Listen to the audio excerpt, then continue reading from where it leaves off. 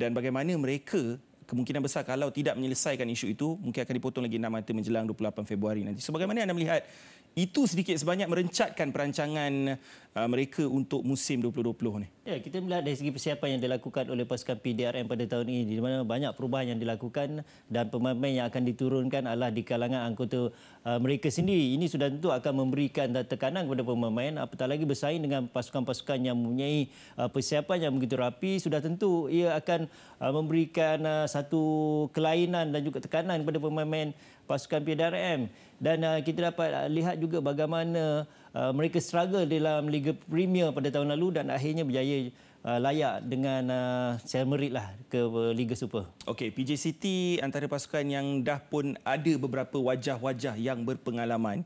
Tetapi dengan uh, dua nama baru daripada Pahang itu Kogleswaran Raj uh, dan juga Kogleswaran dan juga A. Solomon Raj uh, antara pemain muda yang sedang meningkat naik yang barangkali mampu membuktikan kemampuan sebenar dengan uh, mempunyai peluang untuk beraksi dalam kesebelasan pada musim ini. Ya, kelebihan bagi, bagi pasukan uh, PJ City ialah keinginan pemain mereka untuk bersaing dengan pasukan-pasukan yang lebih hebat sebagaimana mereka berjaya melakukan uh, kejutan dengan mengalahkan pasukan JDT di Stadium uh, Lakin eh pada uh, tahun lalu. Sudah tentu kali ini mereka ingin juga uh, bangkit dan memberi saingan dan kemasukan beberapa muka baru itu uh, menggambarkan bahawa PJ City adalah sebuah pasukan yang uh, bersedia pada tahun ini untuk bersaing dengan pasukan-pasukan yang berada di kelompok tengah. Okey, satu lagi pasukan yang kita jangkakan akan struggle adalah pasukan UITM dan ini semua berdasarkan sekadar persiapan mereka sebab kalau kita lihat pada ketika ini UITM antara pasukan yang belum lagi membuat sebarang kemasukan pemain baru secara rasmi ni walaupun kita ada dengar desas-desus tentang seorang dua pemain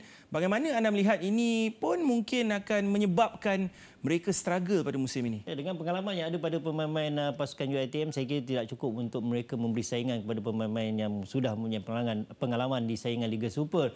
Ya, kita tahu uh, dengan uh, penarikan PKNS, UiTM secara meritnya diangkat untuk berada dalam saingan Liga Super. Ini sudah tentu percaturan yang agak sukar kepada Bernard jurulatih pasukan UiTM untuk memastikan mereka kekal di dalam saingan Liga Super dan juga terus masuk ke dalam Piala Malaysia. Okey, tak sahlah kalau kita tak cerita pasal Sabah juara Liga Perdana untuk 2019 yang sudah mendapatkan lima wajah baru untuk saingan Liga Super antaranya Zubi Azmi daripada pasukan Pahang. Antara pemain yang berpengalaman yang mungkin dapat menguatkan sedikit sebanyak tonggak pertahanan mereka bagaimana anda melihat uh, Zubi Azmi akan menjadi satu impak yang besar untuk pasukan uh, Sabah?